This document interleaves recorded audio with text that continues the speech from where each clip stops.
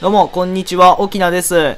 先ほどね、19時半ぐらいに上げた最強ランキングの動画なんですけれども、8位のね、えー、キャラクターをちょっと出し忘れていたっていうところで、本当に申し訳ないです。まだ見てないっていう方はね、概要欄とかコメント欄にリンク貼っておこうと思うので、ぜひともそちらの方を見ていっていただきたいなと思います。本当に改めて、えー、載せるの忘れてて申し訳ないです。というわけで、今回は、えー、8位のキャラクターの補足説明っていうのと、あとはね、惜しくも、まあ10位以内に入れなかったキャラクターで、まあ20位とか30位ぐらいまでなら入ってくるかなっていうキャラクターを、えー、5属性ごとにね、集めてきたので、そちらも紹介していこうと思います。というわけで、やっていきましょ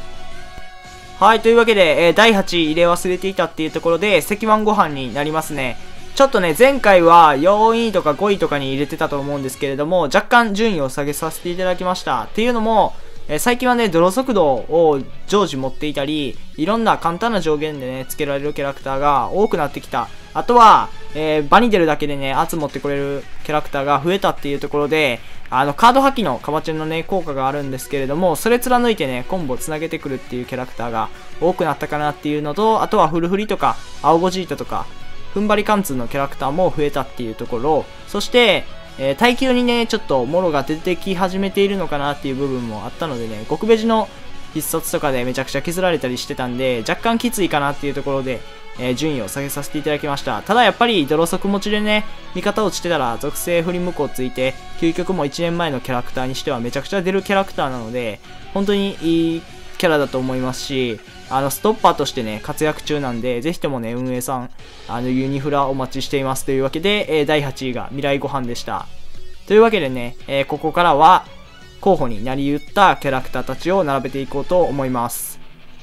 はい、というわけで赤属性からやっていくんですけれども、かなりね、緊急でこのスライドを作っていったので、抜けている部分あるかもしれないですけれども、非常にそこはね、えー、ご了承よろしくお願いいたします。というわけで、めぼしいキャラクターだけ、まあ、説明していきましょうか。まあ、赤属性はね、全体的に最近見ない色ではあるんですけれども、合体ザマスとかね、あの、青ゴジータの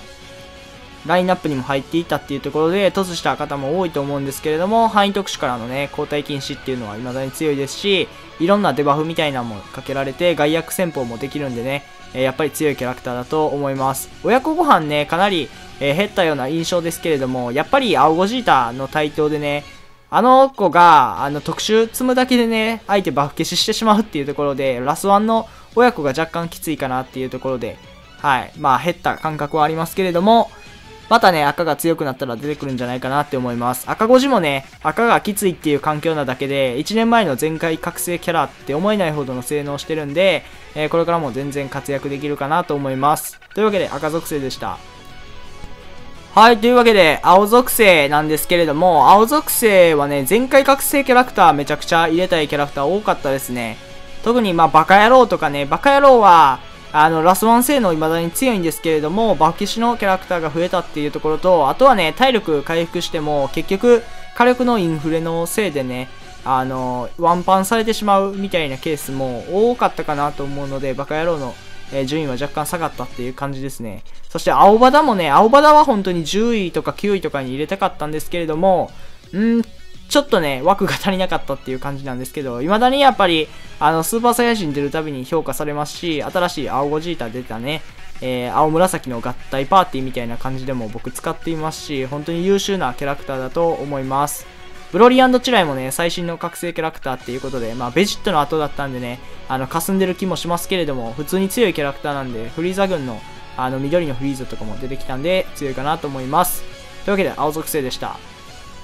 はい、続いて緑属性ですけれども、緑属性はね、あの、コスパがすごいよろしいキャラクターがとてもランクインしたかったキャラクターに多かったですね。破壊神突破とかも通常 SP で最近めちゃくちゃ出るキャラですけれども、交代禁止付与とかね、強いし、あとは遠距離系のね、特殊なんで、そこも優秀かなと思います。あとはシンブロリーもね、えー、特殊カバチェン無効で、ドロー速度いっぱいつけられる打撃持ってるんで、えー、強いキャラクターだなと思います。必殺も火力出るんでね。緑色ゼももうかなり前の SP になるんですけれども、相変わらずのリロードというダメージ持っているんで、根血キラーは最近刺さらない面多いですけれども、まあ、ホープソードとかにね、めちゃくちゃゴリゴリ削れていったりするかなと思うので、普通に優秀だと思います。そして、まあ、無課金フリーザもね、新しい最新のキャラクターって言ったらいいのかな？アーマー持ちで、あとはテレキネシス持っていてね、必殺もめちゃくちゃ火力出るんで強いと思います。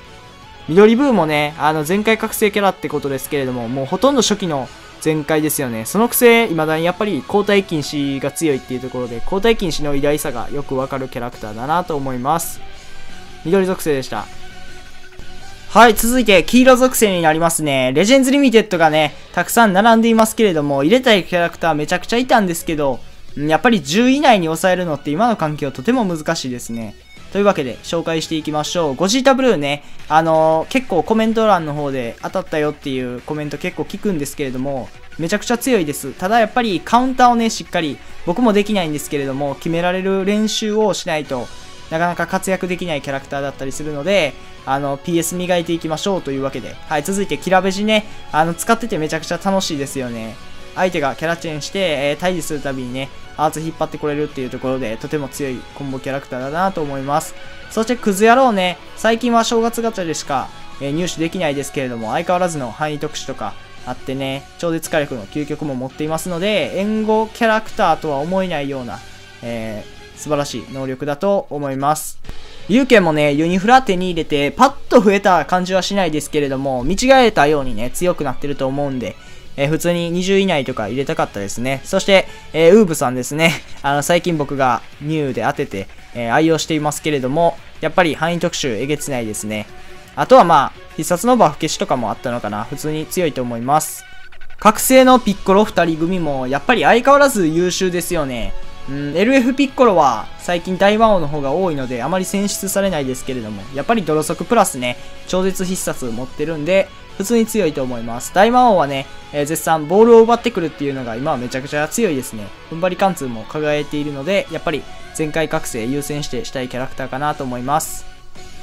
はい、というわけで紫属性ですけれども、すごい全開覚醒キャラクターが多いですね。ただ紫染めって今はね、やっぱりサイヤ人の紫みたいな感じで固める方が多いので、あの、そういうところちょっと難しいところではありますけれども、説明していきましょう。紫ベジットブルー、やっぱりね、3周年の、えー、通常 SP っていうところでね、未だに強いですよね。場に出るだけでアーツドローして、スーパーベジットの感覚と近いですけれどもね。えー、そして、究極のバニシングゲージも普通にね、強いので、えー、ESP キャラクターだなと思います。タグも多いんでね。そして、合体ザマスね。合体ザマスは本当に、一押しの全開覚醒キャラクターになるんじゃないかなと思いますけれども、今はね、あの、極ベジに